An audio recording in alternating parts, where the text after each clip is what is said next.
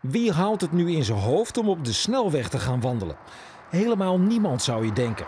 En toch krijgt Rijkswaterstaat elk jaar zo'n 30 meldingen van wandelaars of fietsers op de A6, de A27 of de N50. Maar dit jaar is dat anders. Want Rijkswaterstaat zit nu al op die 30 meldingen. In 2020 heeft nog ruim drie maanden te gaan. De wegbeheerder maakt zich daar best zorgen over, zegt Sylvia de Bres. We maken ons zeker zorgen erover. Het is niet de bedoeling dat mensen op de snelweg lopen of fietsen. Uh, of zich daar op een andere manier begeven op het snelwegdeel. Uh, gelukkig krijgen we de meldingen steeds beter binnen. En uh, dat gebeurt via ons nummer 0800 8002, wat ook vaak boven de weg te zien is. Of via de verkeers social media. En uh, daardoor kunnen we het ook beter registreren. Het aantal meldingen van snelwegwandelaars neemt onder meer toe doordat mensen sneller melding maken.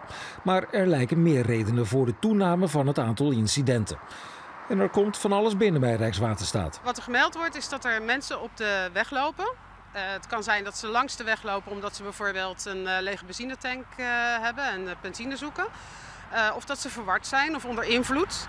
Of fietsers, ook op de weg. Uh, scootmobielen, uh, invalide motoren. Uh, het, is, het is echt alles. De toename is een landelijke trend volgens Rijkswaterstaat.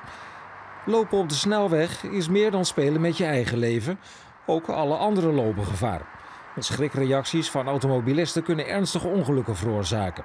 Vandaar het vriendelijke verzoek van Rijkswaterstaat Parkeer zo dicht mogelijk tegen de vangrail, klim daar overheen en bel eenmaal daar een hulpdienst of de politie. Logisch, zou je denken.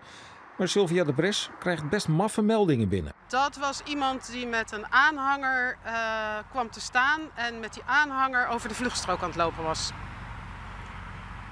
Ja. Ook dat moet je niet doen.